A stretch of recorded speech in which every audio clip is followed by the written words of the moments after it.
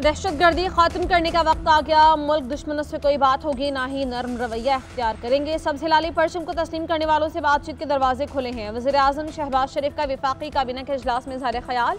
कहा, बलोचिस्तान में दहशत गर्दी का मकसद मुल्क में खलिफशार पैदा करना है। दहशत गर्द ग्रुप अफ़गानिस्तान से ऑपरेट हो रहा है। दहशत गर्द पाकिस्तान की तरक्की और सी पैक के मनसूबे रोकना चाहते हैं। अफवाज पाकिस्तान को तमाम वसाइल मुहैया करेंगे। दुश्मनों को पहचान कर उनके मजमूम अजाइम को खाक में मिलाना होगा। विफाकी हुकूमत ने ऑपरेशन अजम इसकाम के लिए बीस अरब रुपए की मंजूरी दे दी। रेकॉर्डिक मनसूबे की सिक्योरिटी के लिए भी एक अरब पचानवे करोड़ की मंजूरी। वजी अजम शहबाज शरीफ से वजी दाखिला मोहसिन नकवी और वजी अला बलोचिस्तान सरफराज बुगटी की मुलाकात। शहबाज शरीफ को बलोचिस्तान की सिक्योरिटी सूरत हाल पर ब्रीफिंग वजी अजम की दहशत गर्दों के खिलाफ भरपूर कार्रवाई की हिदायत।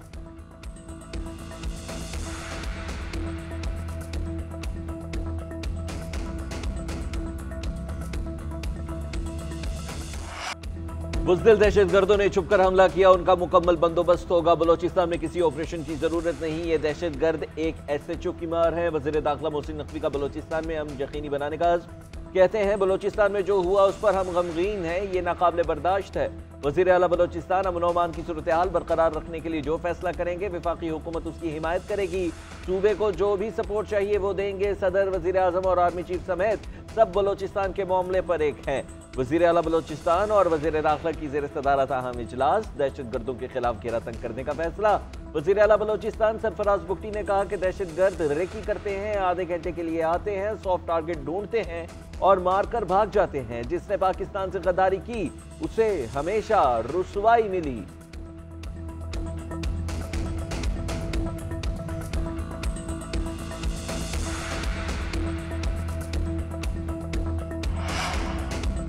चीन की बलोचिस्तान में दहशतगर्द हमलों की मजम्मत, पाकिस्तान से सिक्योरिटी ताउन बढ़ाने का ऐलान माशरती यकजहती और इसकाम को बरकरार रखने के लिए पाकिस्तान की मुकम्मल हिमायत का अदा चीनी वज़ीर खारजा के तर्जमान लीन जियान ने कहा कि चीन हर कस्म की दहशत गर्दी के खिलाफ है। दहशत गर्दी के खात्मे के लिए पाकिस्तान की भरपूर हिमायत जारी रखेंगे। अमरीकी सिफारत खाने की बलोचिस्तान में हमलों की मजम्मत, तर्जमान ने कहा कि सिक्योरिटी एहलकारों आम शहरियों को निशाना बनाया गया। अमरीका दहशत गर्दी के खिलाफ जंग में पाकिस्तान के साथ शाना बशाना खड़ा रहेगा। ईरानी सफारत खाने का पाकिस्तानी हुकूमत अवाम और मुतासर ख़ानदानों से ताज़ियत का इजहार। तुर्की की वजारत खारजा ने कहा कि दहशत गर्दी के खिलाफ जंग में पाकिस्तानी हुकूमत और अवाम के साथ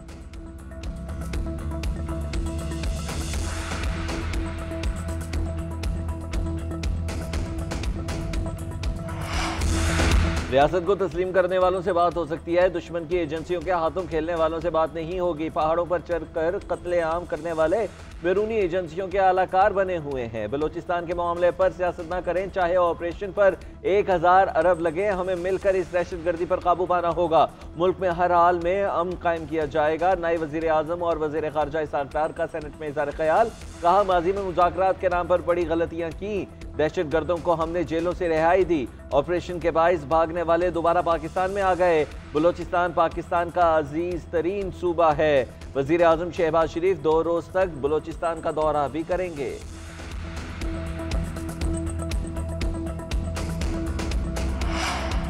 सेनेटर शिबली फराज ने बलोचिस्तान के हालिया वाकत को इंटेलिजेंस की नाकामी करार दे दिया। सेनेट में सारा ख्याल करते हुए कहा कि बलोचिस्तान का हालिया माहौल ना तो सूबे के हक में है और ना ही पूरे पाकिस्तान के हक में। बलोचिस्तान में 1400 किलोमीटर के दरमियान मरबूत हमले किए गए। वजी दाखिला बताएँ कि मुल्क में क्या हो रहा है। जिस तरह ये हुकूमत बनाई गई, वो कानूनी जवाब से महरूम है। अमन अमान का बरह रास्त ताल्लुक मीशत से है। ऐसे हालात में मुल्क में कौन सरमाकारी करेगा? तशद का रास्ता नहीं चाहते। मामला को सियासी तौर पर हल किया जाए। मुल्क की सबसे बड़ी सियासी जमात को दीवार से लगाने के लिए कानून साजी की जा रही है।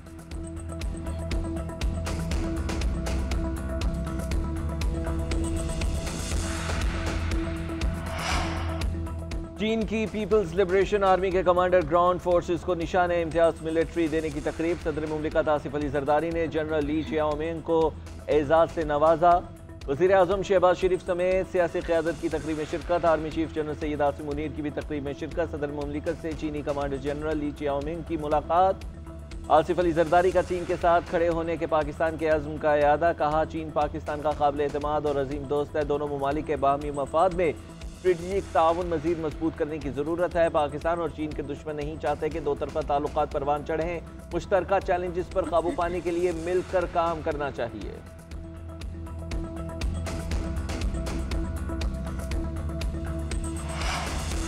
इलेक्शन एक्ट तरमीमी बिल सेनेट से मंजूर अपोजिशन की हिमायत। इस्लामाबाद बल्दियाती एक्ट में मजीद तरमीम का बिल भी कसरत राय से मंजूर। तहरीक इंसाफ की मुखालफत, सदर की मंजूरी के बाद इस्लामाबाद लोकल गवर्नमेंट एक्ट कानून बन जाएगा।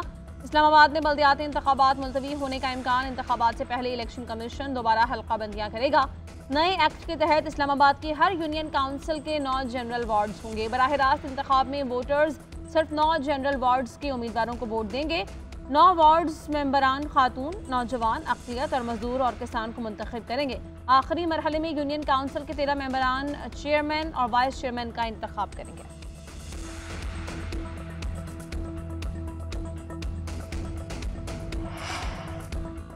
हुकूमत का अदलिया से मुतल अहम कानून साजी का फैसला, सुप्रीम कोर्ट में जजों की तादाद बढ़ाने का बिल अगले हफ़्ते कौमी असम्बली में पेश होगा। कौम हुकूमती रुकन दानियाल चौधरी बिल पेश करेंगे। उन्नीस सौ सतानवे के एक्ट में तरमीम के ज़रिए जजिस की तादाद बढ़ाकर तेईस की जाएगी।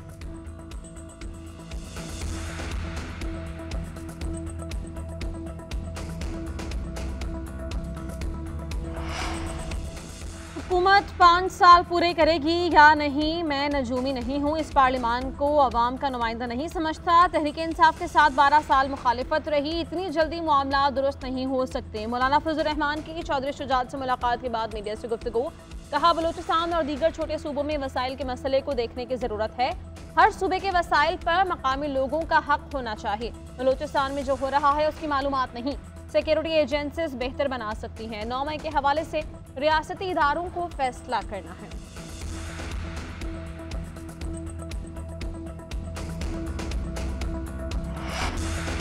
कराची में बारिश से जलथल एक शहर कैद की कई इलाकों में सड़कों पर पानी जमा। मुख्तलिफ़ शाहराओं से दरख्त गिर गए, ट्रैफ़िक की आमदोरफ्त मुतासर। सबसे ज़्यादा बारिश कैदाबाद में बावन मिलीमीटर रिकॉर्ड की गई। गुलशन हदीद में छियालीस, नॉर्थ कराची में उनतीस, नाजिमाबाद में छब्बीस मिलीमीटर बरसात रिकॉर्ड की गई। हैदराबाद चट्टा दादू समेत अंदरून सिंध में भी बादल बरसे। महकमा मौसमियात जुमे तक कराची में तूफानी बारिश की पेश गोई। कराची में रेन एमरजेंसी बल्दियाती अमले की छुट्टियाँ मनसूख। सिंध हुकूमत मानसून के नए स्पेल से निमटने के लिए तैयार। सीनियर वज़ीर शर्जील एना मेमन का कहना है, इकतीस अगस्त तक शदीद बारिशों का इम्कान है। तालीमी इदारे खोलने या बंद रखने से मुतालिक गौर किया जा रहा है।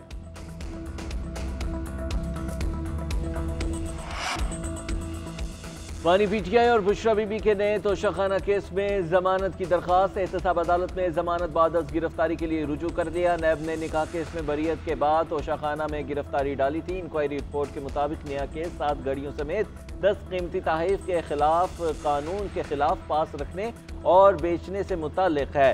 NAB Toshakhana Bulgari jewellery set की में रेफरेंस दायर कर चुका है।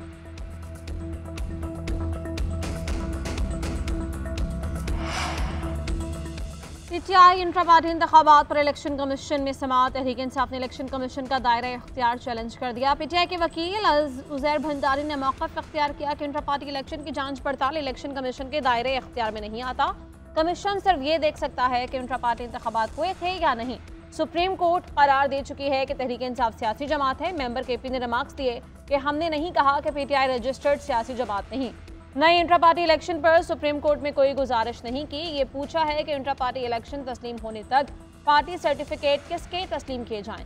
सुप्रीम कोर्ट के हुक्म पर अरकान को पीटीआई का तस्लीम किया है। दायरे अख्तियार और सुप्रीम कोर्ट की वजाहत आने तक केस जरेल तबार रखने की दरखास्तों पर फैसला महफूज। समात अठारह सितंबर तक मुलतवी।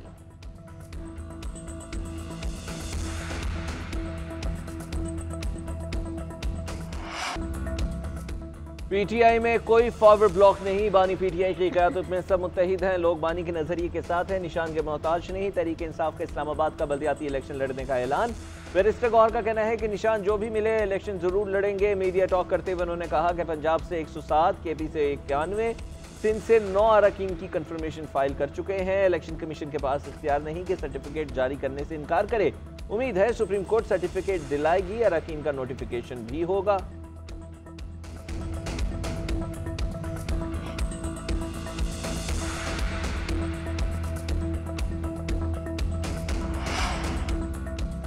सबक deputy superintendent Adiala jail Mohammad Akram की बाजियाबी से मुतल केस। वजरत दफ़ा ने अपनी रिपोर्ट अदालत में जमा करवा दी। अदालत ने रिमार्क्स दिए कि यह संजीदा मामला है। जेल इंतजामिया को अभी तक पता नहीं कि इनका अफसर जेल से गायब कैसे हो गया। इसका मतलब है कि अडियाला जेल में कैदियों समेत अमला भी गैर महफूज है। रियासत की रिट कहाँ गई? अदालत किसको डायरेक्शन दे। मफरूजों पर तो किसी को हिदायत जारी नहीं की जा सकती। अदालत ने सी पी रावलपिंडी को उनतीस अगस्त को फिर तलब कर लिया। समाप्त मुलतवी।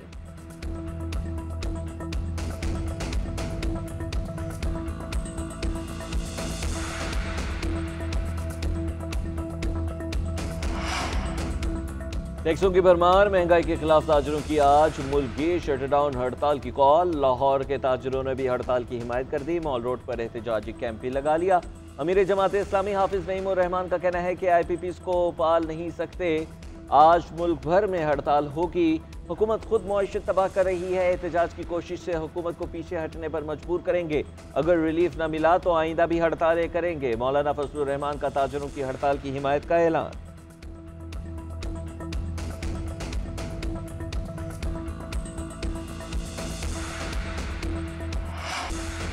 बांग्लादेश के साथ टेस्ट सीरीज़ बराबर करने का मिशन, पाकिस्तान क्रिकेट टीम आज रावलपिंडी स्टेडियम में प्रैक्टिस करेगी। बांग्लादेश के खिलाड़ी भी ट्रेनिंग सेशन में हिस्सा लेंगे। पाकिस्तान और बांग्लादेश के दरमियान दूसरा और आखिरी टेस्ट 30 अगस्त रावलपिंडी में खेला जाएगा। मेहमान साइड को सीरीज़ में एक सिफर की बढ़तरी हासिल है।